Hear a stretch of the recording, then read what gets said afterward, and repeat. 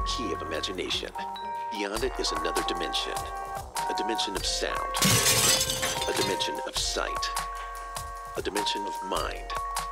You're moving into a land of both shadow and substance, of things and ideas you've just crossed over into the retro zone.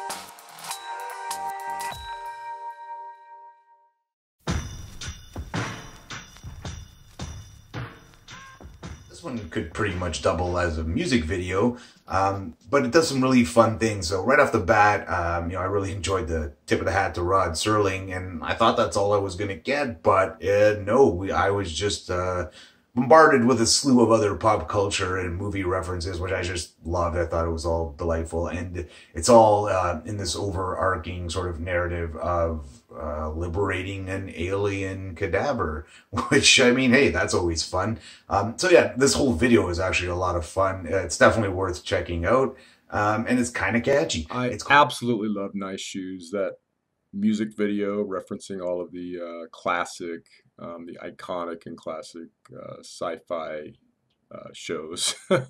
um, TV and movie both. Uh, really, really creative, and uh, and I just really enjoyed it. kind of an homage to some of the great sci-fi themed movies of all time and uh, the music's fun and the characterizations are, are really done well and it's a walk down memory road so congrats to the uh, filmmakers. They made a lot of fun. Being a child of the 80s i really love this uh, this film.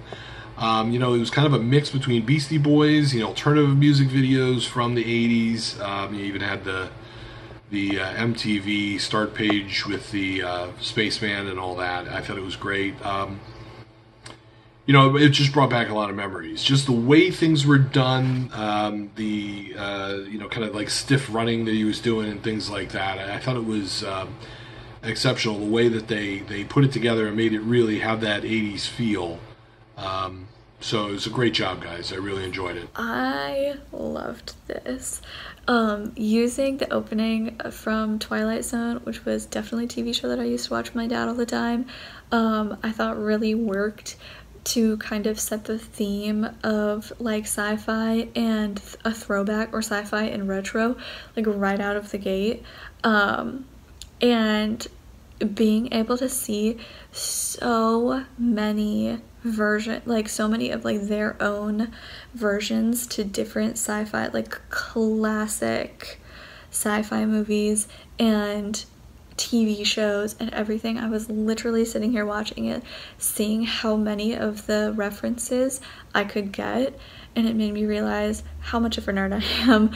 But also, like, all of those things for me personally hold such great memories because they were things that I watched when I was younger, or I watched them like for the first time with like my brother or with my dad, and um, just that it was so fun. I thought that the music was really fun. I thought the concept of the music video was really fun.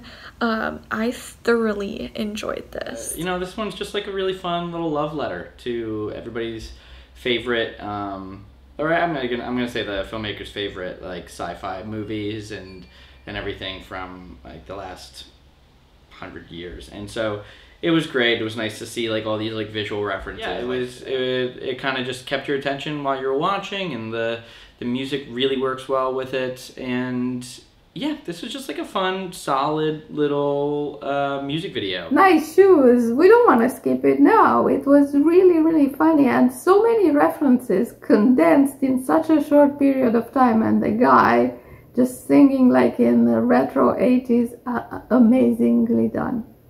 Loved it. This is definitely one of the most eccentric music videos I've ever seen. There was a lot going on, but it was still well done, and I noticed all the cool pop culture references. Um, I thought it was well made. I thought it was a cool storyline and nice acting. I liked the music, and I was dancing with them at the end. And my favorite line was, "But it doesn't matter, cause you got nice shoes."